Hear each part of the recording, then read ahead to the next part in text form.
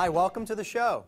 Financial scams, such a big and important topic that it actually takes two shows for us to cover. And of course, we can't cover everything, but I want to help you with some of the most important parts of protecting your finances from financial scams. Now, the truth is, there are a lot of good people out there, good quality financial advisors that can help you. But what you're going to learn on this program is it's not just financial advisors to watch out for. So we're going to talk about some of the ways to protect yourself. We're going to talk about the hideouts from financial scammers, the places you can invest and that you can put your money that make it a lot harder for the financial scammers to get to you. So please be careful, but stick around, watch the program, and you will be a more informed consumer and investor and be more knowledgeable about how to protect yourself. Stick around. While Bernie Madoff's $50 billion scam dominated the headlines, you know, there's still a lot of other scams that occurred that were equally decimating to the finances of the victims. And I've pulled a few just to share with you and help you understand a couple things about how these scams are occurring. Let's take a quick look at this chart. We have a 300 million, a 600 million, an 800 million, and a billion dollar scam from Pearlman, Slatkin, Lombardi, and Rothstein. Scam artists that you may never have heard of. So these scams occur all the time, and we've got to keep our guard up. So let me share with you a little bit about each one. First, Lou Pearlman. Now, you may have heard of him. He is a music mogul, and he used his celebrity fame working with musicians to defraud investors and major banks out of $300 million. He used two sham companies, Transcontinental Airlines and Transcontinental Airlines Travel, to create the opportunity for the scam, and he basically pitched to the investors that they would earn a high rate of interest on their money that was only available to large corporations. Actually, the money was used to fund Mr. Pearlman's lifestyle. Next up, Reed Slatkin, the minister money manager. Mr. Slatkin operated a $600 million Ponzi scheme involving some 800 clients he created the illusion and the allure of 24% annual returns, when in fact that money was being used to pay for his lifestyle. Jets, cars, artwork, you name it. And uh, it was his 10-year period as an ordained minister in the Church of Scientology that created an opportunity for him to scam friends and other members of his church. Next up, Peter Lombardi, the mutual benefit mathematician.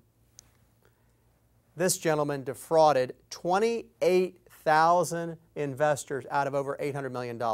How did he do it? Well, the company he owned, Mutual Benefit Corporation, bought existing life insurance policies from elderly clients, and then he resold them to other investors.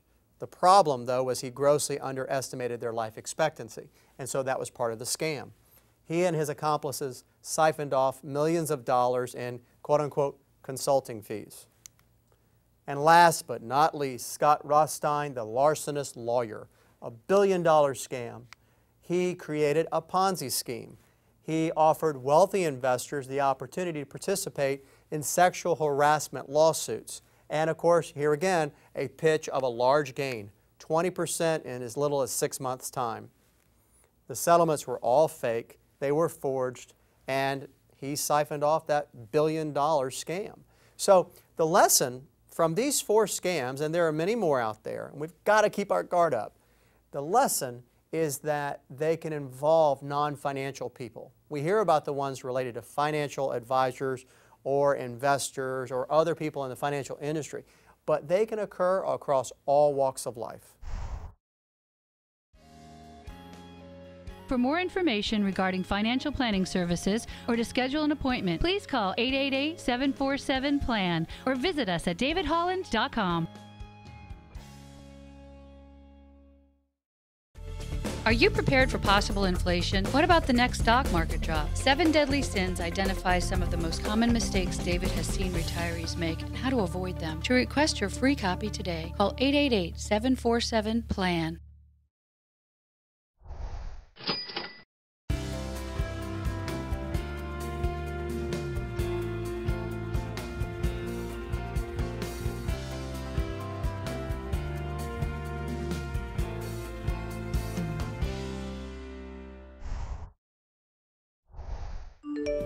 Are there specific places I can put my money where it is less likely to fall into the wrong hands?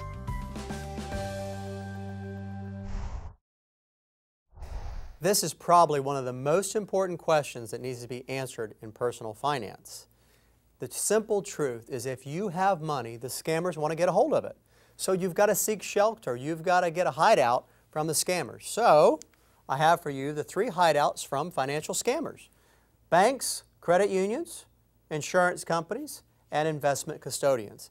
Each of them can be a place to seek shelter from the scammers, and with those places, you can pretty much get everything you need to do the kind of work for your finances that needs to be done. So let's take a look at how these different institutions can help protect your nest egg. First, insurance companies are regulated and monitored by their state. They're audited annually by independent accounting firms. And investment custodians are also heavily regulated, monitored and audited by FINRA and the SEC, regulatory bodies that govern the financial sector. And banks are regulated and monitored by their state and FDIC, who guarantees their deposits up to $250,000. Now, depending on what you're looking for, I think you can accomplish these objectives by working with one of these institutions. So let's look at some of the common objectives people have in putting their monies with banks insurance companies, and investment custodians. First up, let's say you're looking for principal protection. A bank offers checking, money market, and certificates of deposit. Insurance company offers fixed annuities, and investment custodians, not so much, unless you got a brokered CD. But by and large, they usually don't offer that type of product inside an investment custodial account. Now, if you're looking simply to make interest on your money, Again, banks and credit unions, that's a lot of what they do. Money market and CDs. Again, with the insurance companies, we have the opportunity with fixed annuities to earn interest. And investment custodians offer bonds or bond mutual funds. And if you're looking for a lifetime of income, we got a no for banks and credit unions and no from investment custodians because really the only place that you can get a true guaranteed lifetime of income is from an insurance company by way of an immediate annuity or a fixed annuity. And if you're looking for stock market investments, well, not so much with banks. Insurance companies do offer, though, variable annuities, which give you the opportunity to have growth inside of the annuity contract. And investment custodians, now we're talking their language stocks, mutual funds. And if you're looking to make a fortune overnight, no to banks and credit unions, no to insurance companies, but again, this is the, the territory of investment custodians. IPOs, options, margin, barbell, dumbbells, all kinds of exotic stuff is available inside the investment custodial account. The key thing to remember with all of these hideout opportunities is this helps to protect you from the scammer. You still need to make sure, though, that you're getting good financial advice. Do you know that your long-term care could be covered using a life insurance or annuity hybrid? This type of product often allows for the assets to be used tax-free for long-term care expenses or as a death benefit for your beneficiaries. If you decide that you no longer want the policy, many companies will even give the unused premium back to you. So be sure to ask your advisor what long-term care options are available to you. Do you ever wonder what the best retirement income strategy is for your situation? With so many financial products and services available, you may find it overwhelming to choose the right one. Retirement Income Strategies discusses some of the common income planning strategies used by retirees and baby boomers. To request your free copy today, call 888 747 PLAN. Exchange traded funds, or ETFs, are similar to mutual funds in that they hold several stocks and or bonds, but they trade intraday like a stock, which makes them a more nimble investment option than a mutual fund. They also tend to have lower expense ratios than mutual funds, so they may be a good addition to your investment portfolio.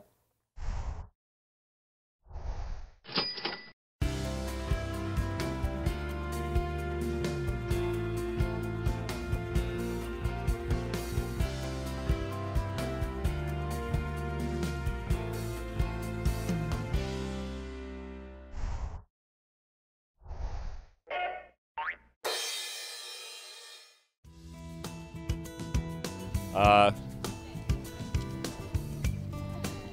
I don't know. That's a tough one to answer. Well, uh, the one I remember is the one out of New York, Bernie Madoff, who did quite a job on a lot of people. Are you including politicians and uh, evangelists? I think the people that sell timeshare, I think they're the biggest scam artist. Some of these door to door salesmen. There's quite a few of them I can think of. But one I really don't like is when people try to get uh, the older people to get their money. They don't realize that they're being scammed. And to me, that is the most worst thing of all.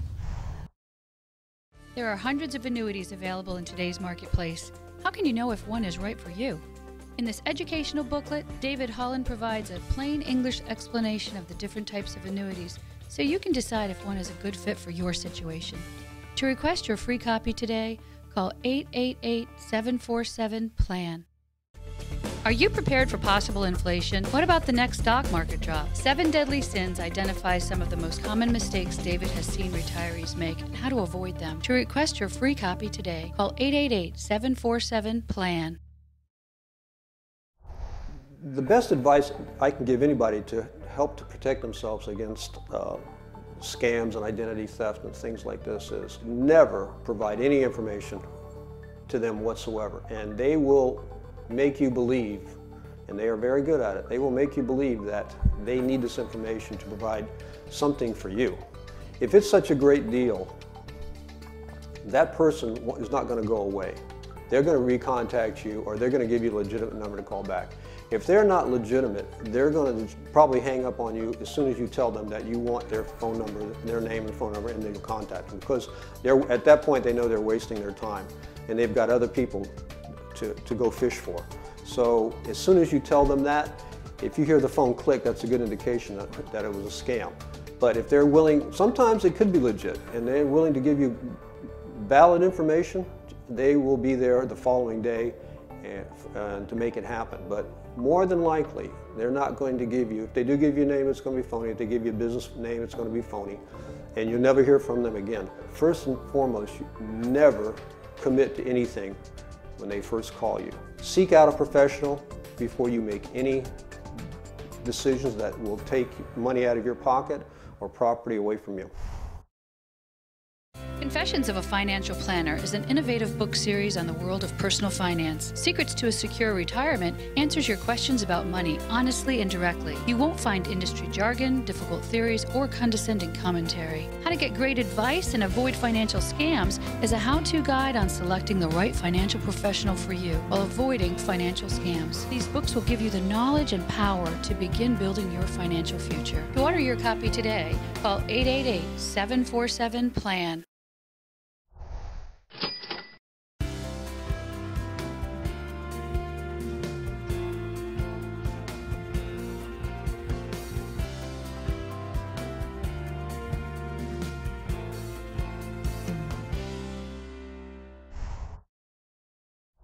The next issue we need to deal with is identity theft, one of the fastest growing crimes in the country. Over a million people have had a, over a billion dollars stolen from them through identity theft, according to the United States Postal Service's Delivering Trust campaign. Now, it's interesting because identity theft is it's still a very significant risk, but what makes it different than the scam is that with a scam, you are a more active participant because you choose to put your money into something, or you, so that sounds good to me, here, let me give you my money. But with an identity theft, it may happen when you don't even know, and you don't really need to do anything to cause it to happen. What happens is the criminals get a hold of your personal information. They get your social security number, your name, your address, your telephone number, your date of birth, and with that information, they can pretend to be you. Now, there are over 25 different types of financial identity fraud investigated each year by the United States Secret Service. This is a serious issue.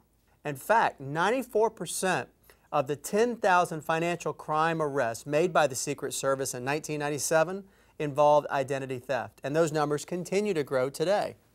In some of these cases, the thieves stole the victim's identity in order not only to perpetuate whatever computer or cyber crime, but also organized crime, drug trafficking, alien smuggling, and money laundering. It's bad enough to have your identity stolen that causes you to lose money. But can you imagine being convicted of a crime or charged with a crime that you didn't even commit? So, this is a very serious topic.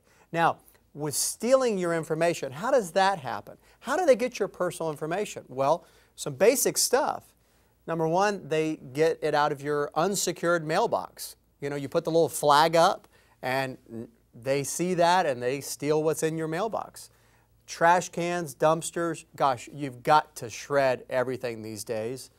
PIN numbers at the ATM, they look over your shoulder. Copies of checks or deposit slips. Here's a really interesting one. Waiters or clerks that copy or memorize your credit card or take a picture of it with their iPhone.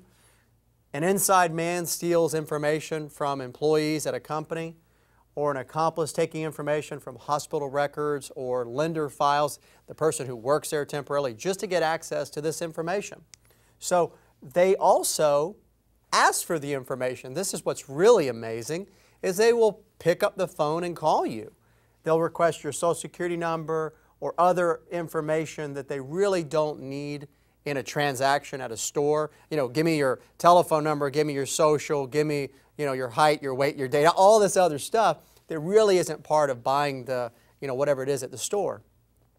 They can call and pretend to be from a credit card company or a bank or other financial institution and they need to verify your information. Well, they'll never, a legitimate institution doesn't ever call you for that. They'll also send you bogus email or direct you to a fake website and ask you to again enter information. They're after all of that personal information that gives them what they need to pretend to be you. And so we've got to be very, very careful to be on the lookout for this. Now, knowing this information, knowing what they do and how they do it, you can take specific steps to address this. And that's what we're going to cover in the next segment. There are hundreds of annuities available in today's marketplace. How can you know if one is right for you? In this educational booklet, David Holland provides a plain English explanation of the different types of annuities so you can decide if one is a good fit for your situation. To request your free copy today, call 888 747 PLAN. Are you prepared for possible inflation? What about the next stock market drop? Seven Deadly Sins identifies some of the most common mistakes David has seen retirees make and how to avoid them. To request your free copy today, call 888 747 PLAN.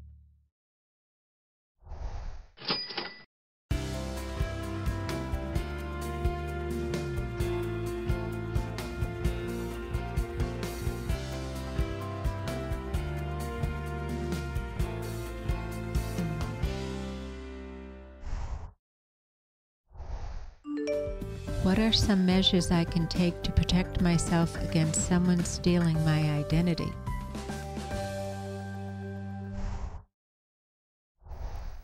This identity theft issue is a serious thing. So, what do you do about it? What can you do to protect yourself? The criminals are never going to stop, so you've got to take action. First, you can shred any documents that have got your name on it. Anything that comes to you in the mail or that is sent to you, you need to shred it when you're done with it. And if you've got statements, you've looked at them, you don't need to keep all of them. Banks, insurance companies, investment firms, you need to talk to the financial professional about which ones you need to keep. And you just don't want anything laying around or in a drawer somewhere that if somebody breaks in your house, they can get all this information. Next, make sure that no one's around when you use your ATM card. Cover up the keypad as you enter in the information. Don't write your PIN number on your ATM card. And don't put your PIN number in your wallet. You want to take some common sense steps to keep people from being able to access your ATM and your account balance. Next, you can also have your name removed from all the telemarketing lists. That's all done through the, the credit reference checks. And so you can ask that your name be removed so that so much stuff doesn't come in the mail with solicitations for whatever it may be, credit card offers and the like. Because with that mail, somebody might be able to steal your identity. Next, pay attention to your credit card. I often tell people, treat it like it's a $1,000 bill. Don't let it out of your sight. Be very careful because a waiter or waitress could maybe write down the number take a picture of it with their iPhone.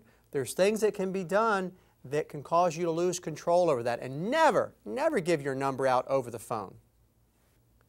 Next, your Social Security number. You've got to protect it.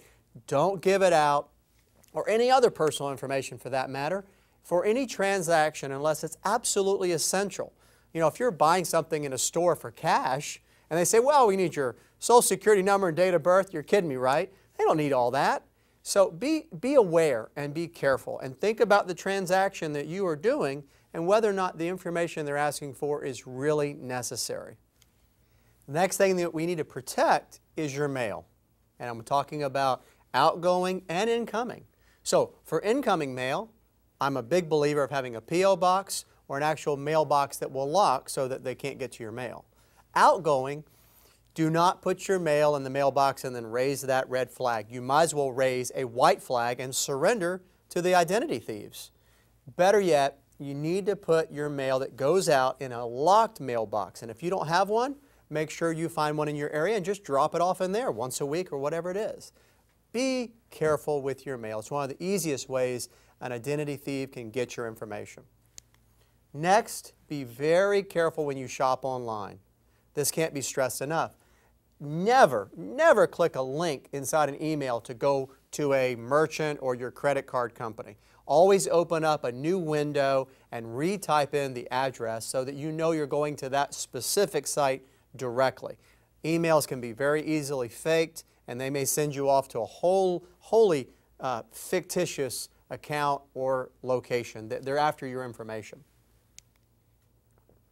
Review your credit card every month. Look at those statements carefully.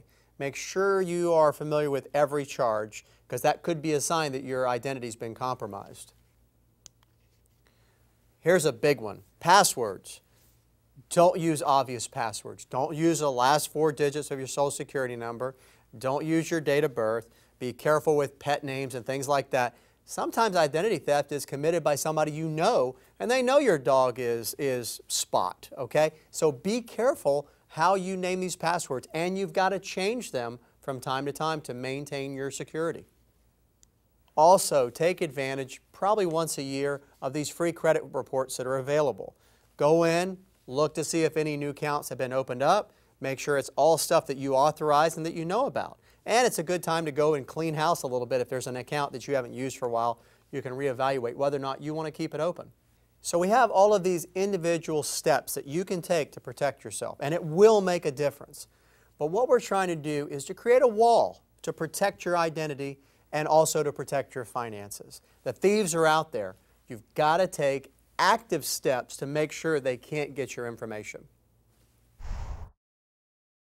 Confessions of a Financial Planner is an innovative book series on the world of personal finance. Secrets to a Secure Retirement answers your questions about money honestly and directly. You won't find industry jargon, difficult theories, or condescending commentary. How to get great advice and avoid financial scams is a how to guide on selecting the right financial professional for you while avoiding financial scams. These books will give you the knowledge and power to begin building your financial future. To order your copy today, call 888 747 PLAN.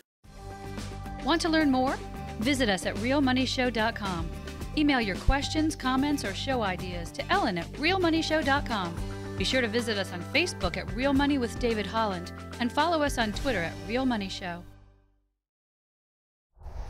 I know that we're focusing on scams and how to avoid them on the show, but I want to really come back to something that I think is fundamental, and you're going to hear me talk a lot about, but I, I, I can't overemphasize the need for getting planning done. I meet with people on a regular basis that have made the smart decision to address their financial planning and what's going to happen down the road. So I've seen people and I've talked to people that are trying to figure out this current environment we're in, which is very frustrating. A volatile market, yes, it looks like it's doing better, but it's still a lot of people that are skeptical. And we also have a very low interest rate environment for savers and people that are trying to live off of what they've accumulated during their working years. So in that environment, I know you are wondering, how do I get this right? Well, I just met with a couple and, and that was the question. They're trying to decide when to retire, how much will they be able to get from the assets that they've accumulated, and how they'll get it to work for them, not only for today, but for tomorrow. Now, a lot of people, they want to get this right, but they end up um, taking a kind of a basic approach. And, and they try to do the things they can to get their finances right, but they don't have the tools. And so a lot of times people will have their financial planning on a napkin. I mean, they sketch out what they think will happen or what they will need to do. And I want to tell you that you'll get a lot further if you actually put a plan together. And you know, this is a nice big thick plan that we do for our clients. Doing the planning is what it really boils down to. You've got to do three things. If I summarize what needs to be done, number one, you've got to address the threats. We're talking about scams, that's a threat, but there are a lot of other threats that need to be dealt with. You've got to first address those. Then, once you've done that, you can focus on creating income that will meet your needs now and in the future because we know inflation is going to be an issue. And after you've taken care of those two things, then you can make sure that you have your assets and your planning done to make sure this money goes to your beneficiaries. So that's it. Those are really the three things that need to happen. Now, there's a lot of work that needs to be done, but please understand this. You, unless you are a financial planner yourself and you like watching my show, uh, you really don't have the tools or maybe all of the knowledge that you will need to accomplish these things. There's things that you just don't know that need to be done, and you don't have the tools to put a plan together that addresses all these things. So, threats, building the income, and leaving money to your beneficiaries. That's what financial planning is about. Financial scams and identity theft, double trouble. It's some serious stuff. It happens every day. It happens to people you know. It is expensive. It can be devastating. But here's what's most important about all of this you can take steps, you can be active in protecting yourself. You can reduce your chances of being a victim. But you've got to be active, you've got to take those steps. So please do that, please be on guard, and I hope what we've talked about in today's show is helpful to you. And remember, nobody cares more about your money than you do.